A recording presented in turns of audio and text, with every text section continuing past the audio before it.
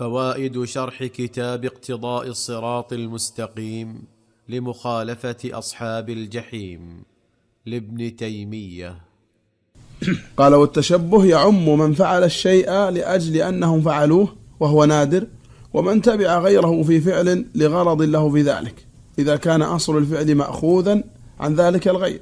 فأما من فعل الشيء واتفق أن الغير فعله أيضا ولم يأخذه أحدهما عن صاحبه ففي كون هذا تشبه النظر لكن قد ينهى عن هذا لئلا يكون ذريعة إلى التشبه ولما فيه من المخالفة.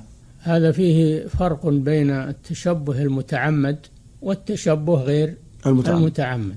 التشبه المتعمد لا شك في تحريمه لأنه صادر عن نية وقصد وحكمه يختلف كما سبق في الغلظ أو أو ما هو دون ذلك كما كما سبق.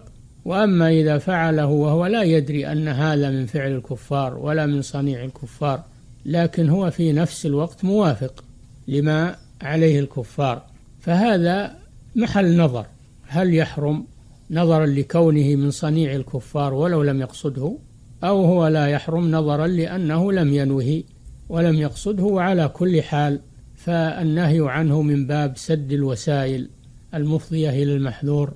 يتجنبه على كل حال وإذا تبين له أنه من فعلهم فإنه يتأكد عليه تجنبه والابتعاد عنه. نعم.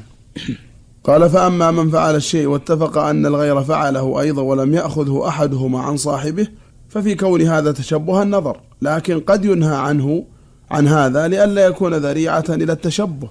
ينهى عنه من باب الاحتياط ولو قال أنا لم أقصد كونه لم يقصد هذا قد يعفيه من الإثم والعقوبة لكن صورة العمل فيها تشبه. نعم.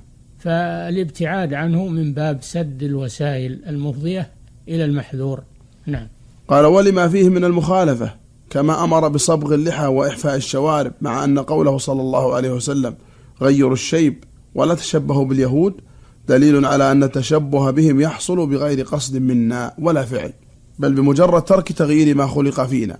وهذا أبلغ من الموافقة الفعلية الاتفاقية. مما يدل على الاحتمال الثاني وأنه محرم ولو لم يقصد التشبه بهم نعم. أو مما يدل على أنه منهي عنه ولو لم يكن محرما بل يكون مكروها كراهية تنزيه. أن الله نهانا عن عن موافقة الكفار في الشيب. الشيب ليس من صنيعنا نعم. ولا هو من صنيع الكفار أيضا. نعم. وإنما هو خلقة خلقها الله. لكن لما كان الكفار لا يصبغون لحاهم أمرنا النبي صلى الله عليه وسلم بصبغ اللحى مخالفة لهم. فمخالفة الكفار أمر مقصود للشارع حتى في الأمور التي هي ليست من أفعالنا. والصبغ كما سبق لا يكون بالسواد. وإنما يكون في لون غير السواد. قوله صلى الله عليه وسلم غيروا هذا الشيب وجنبوه السواد. والمراد السواد الخالص.